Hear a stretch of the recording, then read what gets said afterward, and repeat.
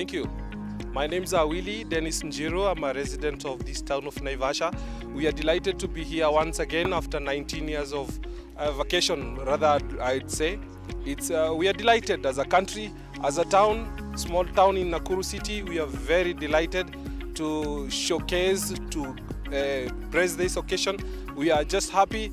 It is a moment that Kenya has been waiting for. It has been a long wait. Being a Kenyan, it's just a one thing that we all expected to have. It's just awesome. The, the curiosity about the crowd behind me is just one of its kind. People have come from far and wide. In the morning, I could see cars, many cars from Tanzania, uh, the whole of East Africa actually, uh, just having this moment around here.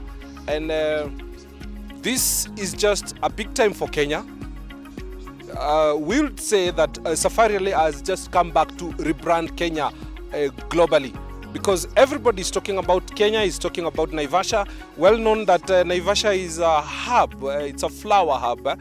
We export flowers across all over the world. We are number one exporter in uh, the red roses, and uh, that is a big thump up for us as a country.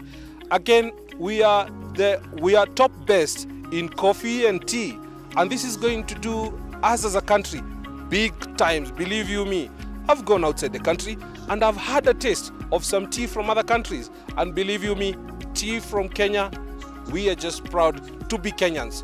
The WRC is just a step towards regaining our name world over. I'm delighted.